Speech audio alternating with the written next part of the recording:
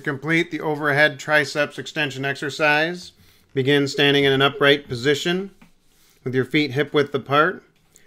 Grasp your original T grip bar with a traditional grip, arms extended above your head.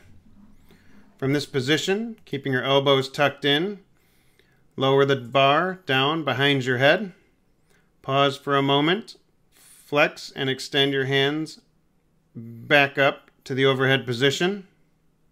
Repeat the exercise.